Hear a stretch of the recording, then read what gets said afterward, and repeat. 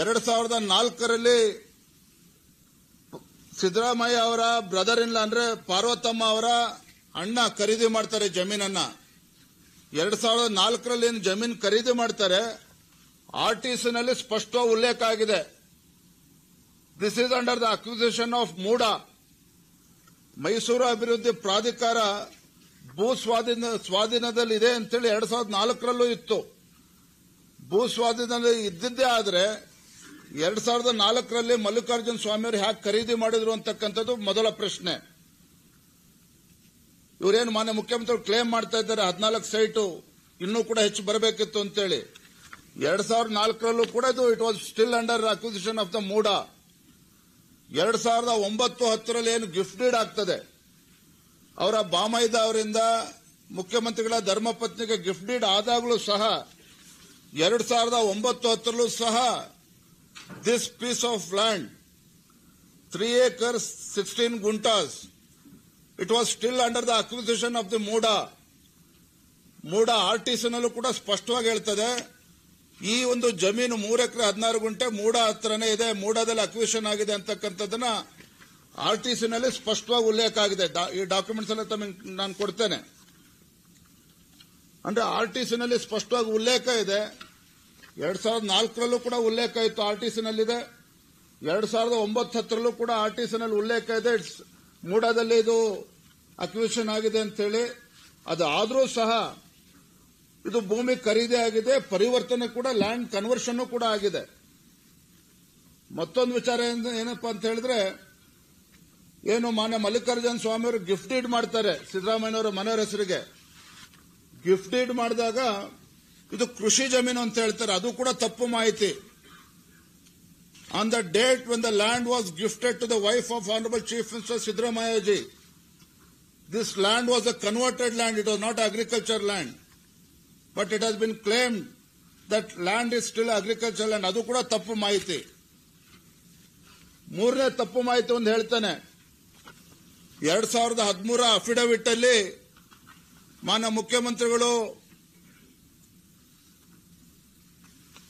ಅವರೇನು ಎಲೆಕ್ಷನ್ ಅಫಿಡವಿಟ್ಗೆ ಸಲ್ಲಿಸ್ತಕ್ಕಂಥ ಸಂದರ್ಭದಲ್ಲಿ ಈ ಮೂರು ಎಕರೆ ಹದಿನಾರು ಗುಂಟೆ ಉಲ್ಲೇಖನೇ ಆಗಿಲ್ಲ. ಮಾನ್ಯ ಸಿದ್ದರಾಮಯ್ಯನವರು ಎರಡ್ ಸಾವಿರದ ಹದಿಮೂರರ ಚುನಾವಣೆಯಲ್ಲಿ ಅಫಿಡವಿಟ್ ಅನ್ನು ಸಲ್ಲಿಸ್ತಕ್ಕಂಥ ಸಂದರ್ಭದಲ್ಲಿ he has not mention this three acre sixteen guntas land affidavit ಅಲ್ಲಿ ಮೆನ್ಷನ್ ಕೂಡ ಮಾಡಿಲ್ಲ. It is a clear violation of model code of conduct since this piece of land has not been mentioned in the affidavit filed by Sidramaya himself. This is a clear violation of the Model Code of Conduct and also the violation of People Representative Act. ನಾವು ಇದನ್ನು ಕೂಡ ಚರ್ಚೆ ಮಾಡ್ತಾ ಇದ್ದೇವೆ ಗಮನಿಸ್ತಾ ಇದ್ದೇವೆ ಈ ವಿಚಾರವನ್ನ ಎಲ್ಲ ಪರಿಶೀಲನೆ ಮಾಡಿ ಬಹುಶಃ ಎಲೆಕ್ಷನ್ ಆಫ್ ಇಂಡಿಯಾಗೂ ಕೂಡ ಇದ್ರ ಬಗ್ಗೆ ನಾವು ದೂರನ್ನ ಕೊಡ್ತಕ್ಕಂಥ ಪರಿಸ್ಥಿತಿ ಬಂದಿದೆ ಅನ್ನೋದನ್ನು ಕೂಡ ಈ ಸಂದರ್ಭ ಹೇಳೋದಕ್ಕೆ ಇಚ್ಛಪಡ್ತೇನೆ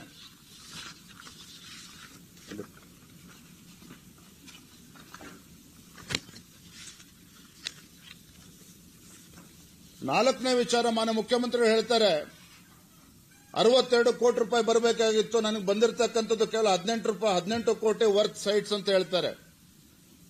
Chief minister claims his wife received sites which was worth only 18 crores. But he claims she was supposed to receive sites. She was supposed to receive alternate sites, which is worth more than 62 crores.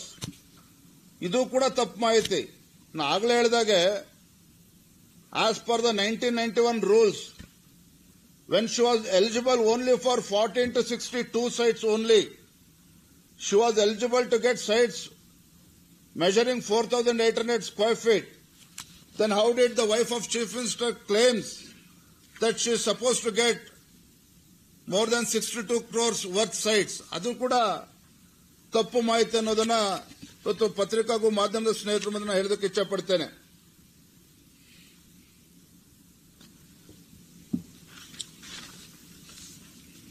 ಬಹಳ ಪ್ರಮುಖವಾಗಿರ್ತಕ್ಕಂಥ ಮತ್ತೊಂದು ಅಂಶ ಈ ಮೂಢ ಹಗರಣದಲ್ಲಿ ಎರಡು ಪ್ರಕರಣಗಳಿದೆ. ಮೊದಲನೇದು, ತಮಗೆಲ್ಲ ತಿಳಿದಿರೋ ಹಾಗೆ ಮಾನ್ಯ ಮುಖ್ಯಮಂತ್ರಿಗಳ ಧರ್ಮಪತ್ನಿಗೆ ಸಿಕ್, ಕೊಟ್ಟಿರ್ತಕ್ಕಂಥ ಪತ್ನಿಗೆ ಸಿಕ್, ಕೊಟ್ಟಿರ್ತಕ್ಕಂಥ ಹದಿನಾಲ್ಕು ನಿವೇಶನಗಳು. ಇದು ಒಂದು ಪ್ರಕರಣ. ಮತ್ತೊಂದು ಪ್ರಕರಣ, ತಾವು ನೋಡಿದ್ರೆ ಮಾನ್ಯ ಸಚಿವರಾಗಿರ್ತಕ್ಕಂಥ ಬೈರ್ತಿ ಸುರೇಶ್ ಅವರು ಗೌರವಾನ್ವಿತ ನಗರಾಭಿವೃದ್ಧಿ ಸಚಿವರು ಈ ಒಂದು ಅಕ್ರಮದ ಬಗ್ಗೆ ಮಾಹಿತಿ ಬರ್ತಾ ಇದ್ದಂಗೆ ಒಂದು ಕ್ಷಣನೂ ಕೂಡ ತಡೆ ಮಾಡೋದಿಲ್ಲ. ಓಡೋಡಿ ಮೈಸೂರಿಗೆ ಹೋಗ್ತಾರೆ. ಆತುರ ಆತುರವಾಗಿ ಮೈಸೂರಿಗೆ ಹೋಗ್ತಾರೆ. ಅಲ್ಲಿ ಹೋಗಿ ಮೂಡ ಸಭೆನ ಕರೀತಾರೆ, ಅಧಿಕಾರಿಗಳು ಸಭೆನ ಕರೀತಾರೆ. ಅಧಿಕಾರಿಗಳ ಸಭೆನ ಕರೆದು ಎಲ್ಲ ಮಾಹಿತಿಗಳನ್ನು ಪಡೆದುಕೊಂಡು ಏಕಾಏಕಿ ಅಲ್ಲಿರ್ತಕ್ಕಂಥ ಅಧಿಕಾರಿಗಳು ಎಲ್ಲರನ್ನೂ ಕೂಡ ಟ್ರಾನ್ಸ್ಫರ್ ಮಾಡ್ತಾರೆ. ಯಾವ ಅಧಿಕಾರಿಗಳಿಗೆ punishment ಆಗಬೇಕಾಯಿತು because when more than five thousand crores worth sites has been allotted for the influential people ಐದು ಸಾವಿರಕ್ಕೂ ಕೋಟಿಗೂ ಹೆಚ್ಚು ಬೆಲೆ ಬಾಳ್ತಕ್ಕಂಥ ಸೈಟ್ ಅನ್ನ ಬೇಕಾಬಿಟ್ಟು ಇವತ್ತು ಅಲಾಟ್ ಮಾಡಿದಂತ ಸಂದರ್ಭದಲ್ಲಿ the concern minister Byrathi Suresh ಇವತ್ತು ಮೈಸೂರು ಹೋಗ್ತಾರೆ, ಸಭೆ ಮಾಡ್ತಾರೆ. ಅಧಿಕಾರಿಗಳನ್ನ ತರಾಟೆಗೆ ತೆಗೆದುಕೊಂಡು ಅವ್ರನ್ನ ಪನಿಷ್ ಮಾಡೋ ಬದಲು ವರ್ಗಾವಣೆ ಮಾಡ್ತಾರೆ. ಅಂದ್ರೆ minister is trying to protect the officials who are involve in the scam honourable minister Byrathi Suresh who is urban development minister who rushed on the same day to day to the meeting of all urban development authority officials ನಾವು ಅನ್ಕೊಂಡಿದ್ದು minister will take a strict action they will punish the concern officials ಅದನ್ನು ಮಾಡಲಿಲ್ಲ ಸಚಿವರು. ತತ್ಕ್ಷಣ ಅಧಿಕಾರಿಗಳೆಲ್ಲರೂ ಕೂಡ ವರ್ಗಾವಣೆ ಮಾಡ್ತಾರೆ. ಮತ್ತೊಂದು ಕಡೆ, ಯಾವ ಜಿಲ್ಲಾಧಿಕಾರಿ, ಮೂಡಾದಲ್ಲಿ ಇಷ್ಟು ದೊಡ್ಡ ಭ್ರಷ್ಟಾಚಾರ ಹಗರಣ ನಡೀತಾ ಇದೆ ಅಂತ ಹೇಳಿ, ಆ ಭ್ರಷ್ಟಾಚಾರದ ಬಗ್ಗೆ ತನಿಖೆ ಮಾಡಿ ವರದಿಯನ್ನು ನೀಡಿದ್ದಾರೆ ಡಿಸಿ ಜಿಲ್ಲಾಧಿಕಾರಿ. ಆ ಜಿಲ್ಲಾಧಿಕಾರಿನೂ ಕೂಡ ವರ್ಗಾವಣೆ ಮಾಡ್ತಾರೆ ತರಾತುರಿಯಲ್ಲಿ. ಸೊ ಹಾಗಾಗಿ ಇದು ಮೇಲ್ನೋಟಕ್ಕೆ ಸ್ಪಷ್ಟವಾಗಿ ಕಾಣ್ತದೆ. ಮಾನ್ಯ ಮುಖ್ಯಮಂತ್ರಿಗಳ ತವರು ಜಿಲ್ಲೆನಲ್ಲಿ ಇವತ್ತು ಸಂಬಂಧಪಟ್ಟಂತ ಸಚಿವ ಬೈರ್ತಿ ಸುರೇಶ್ ಅವರು ಇವತ್ತು ಹಗರಣವನ್ನು ಮುಚ್ಚಾಕ್ತಕ್ಕಂಥ ಪ್ರಯತ್ನ ಮಾಡಿದ್ದಾರೆ. ಅಲ್ಲಿರ್ತಕ್ಕಂಥ ಎಲ್ಲ ಕಡತಗಳನ್ನ minister Bhairti Suresh he himself carries all the relevant files to Bangalore. Mysuru ಕಚೇರಿಯಲ್ಲಿ ಮೂಡ ಕಚೇರಿಯಲ್ಲಿದ್ದಂಥ ಎಲ್ಲ ಕಡತಗಳನ್ನ ಸ್ವತಃ ಸಚಿವರೇ ಎತ್ಕೊಂಡು ಬೆಂಗಳೂರಿಗೆ ಬರ್ತಾರೆ. ನಾನು ನನ್ನನ್ನು ಕೂಡ ಮಾಹಿತಿಗಳನ್ನು ತೆಗೆದುಕೊಳ್ತಕ್ಕಂಥ ಪ್ರಯತ್ನ ಮಾಡ್ತಾ ಇದ್ದೀನಿ. ನೆನ್ನೆನೂ ಕೂಡ ಅದು ನಡೀತಾನೆ ಇದೆ ಇನ್ನೂ ಕೂಡ. ಯಾಕೆ ಅಂತ ಹೇಳಿದ್ರೆ this is first of its kind never in the history of Karnataka where the concern minister and the chief minister whose also hails from the Mysuru district such a big land scam has taken place in Mysore. ಇಂಥ ದೊಡ್ಡ ಭ್ರಷ್ಟಾಚಾರ ಪ್ರಕರಣ ಬಹಿರಂಗ ಆಗಬಾರದು, ಚರ್ಚೆಗೆ ಬರಬಾರದು ಅಂತೇಳಿ ಎಲ್ಲ ಕಡತಗಳನ್ನ ಮುಚ್ಚಿಡ್ತಕ್ಕಂಥ ಕೆಲಸವನ್ನ ಬೈರ್ತಿ ಸುರೇಶ್ ಅವರು ಮಾಡ್ತಾ ಇರ್ತಕ್ಕಂಥದ್ದು ಇವತ್ತು ತಮಗೆ ಮತ್ತೊಂದು ಅಂಶ ನಿಮ್ಗೆ ಗಮನದಲ್ಲಿರಲಿ. ಮುಖ್ಯಮಂತ್ರಿಗಳು ಪದೇ ಪದೇ ಏನು ಇತ್ತು?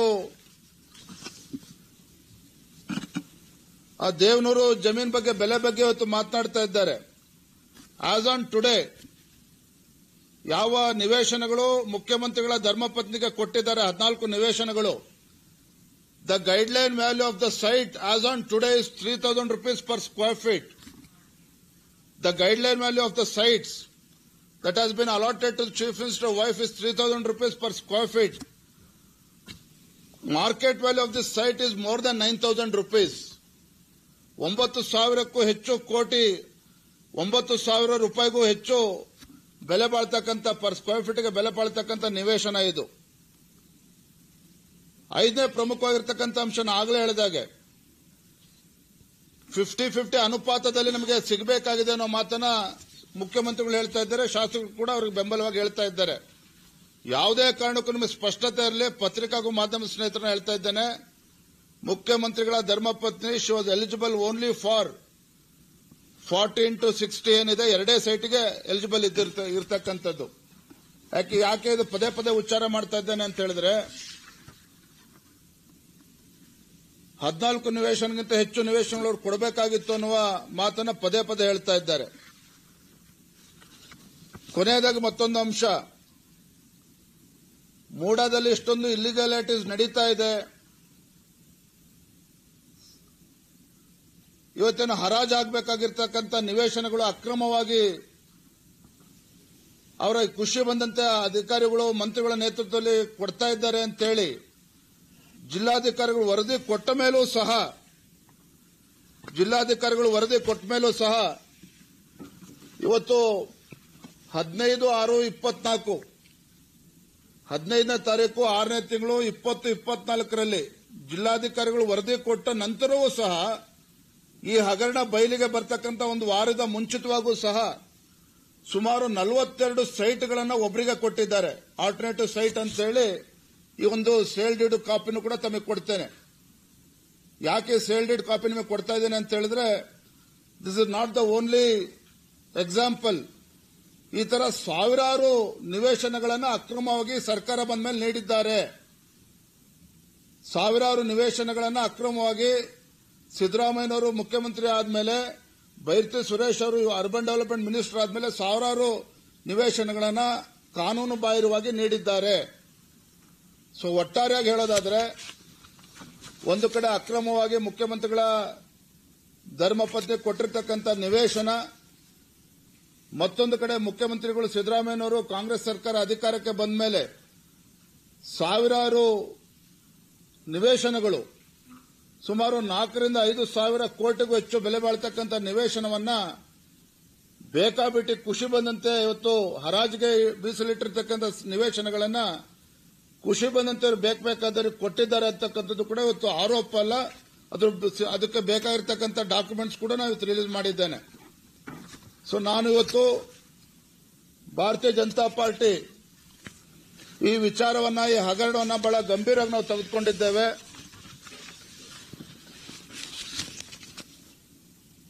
ನಾಳೆ ದಿನ ಶುಕ್ರವಾರ ನಾನು ನಮ್ಮ ರಾಜ್ಯದ, ನಮ್ಮ ವಿರೋಧ ಪಕ್ಷದ ನಾಯಕರಾಗಿರ್ತಕ್ಕಂಥ ಆರ್ ಅಶೋಕ್ ಅವರು ಇರ್ಬೋದು, ಅಶ್ವಥ್ ನಾರಾಯಣ ಅವರು ನಮ್ಮೆಲ್ಲ ಶಾಸಕರು, ಪಕ್ಷದ ಹಿರಿಯ ಮುಖಂಡರ ನೇತೃತ್ವದಲ್ಲಿ ಶುಕ್ರವಾರ ಮೈಸೂರಿನಲ್ಲಿ ಬೃಹತ್ ಪ್ರತಿಭಟನಾ ಸಭೆಯನ್ನು ನಾವು ಆಯೋಜನೆ ಮಾಡಿದ್ದೇವೆ.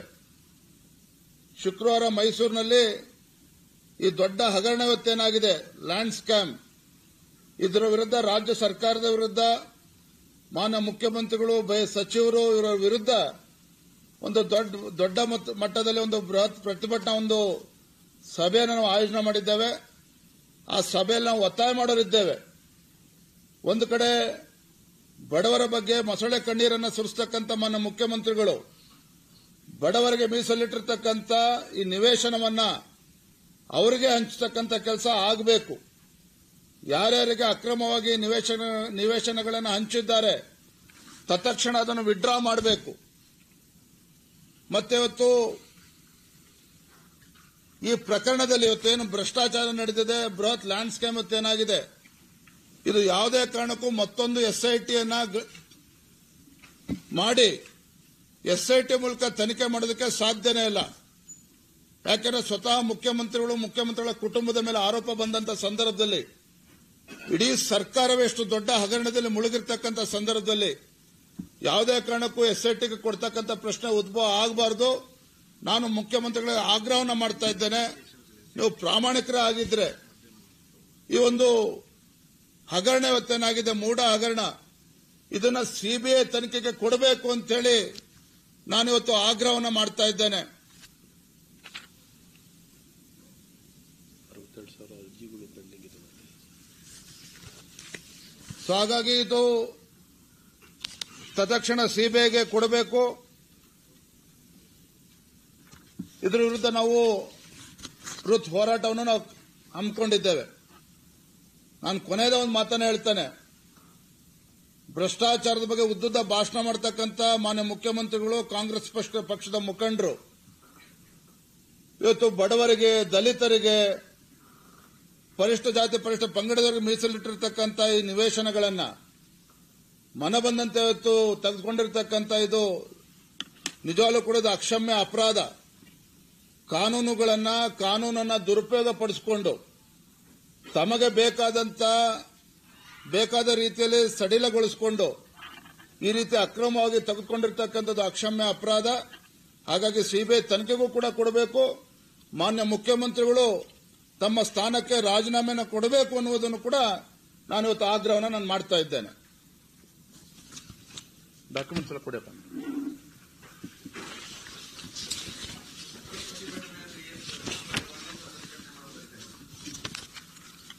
ಕಾದ್ ನೋಡಿ ಏನೇನ್ ಮಾಡ್ತೀವಿ ಅನ್ನೋದನ್ನ.